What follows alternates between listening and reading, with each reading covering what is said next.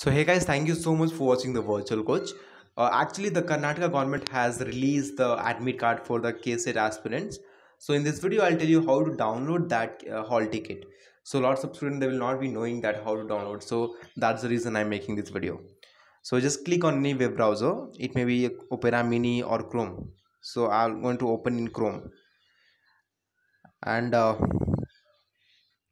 you have to enter KEA homepage.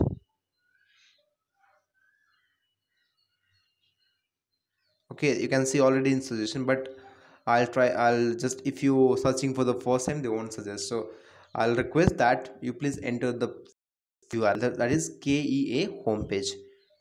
Then you'll get the first link that is KEA home that is KEA keakarnataka.nic.in. Just click on that and if you click on that you can see there's a notification that is CET 2020 uh, hall ticket download link. Click click on that.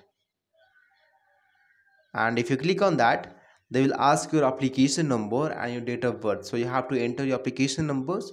So which have got already in your confirmation page and your date of birth you know already. And after entering that just click on submit. So automatically your admit card will be downloaded so this is how you can download your admit card or hall ticket. So thank you so much for watching this video and uh, i'll wish you all the very best for your examination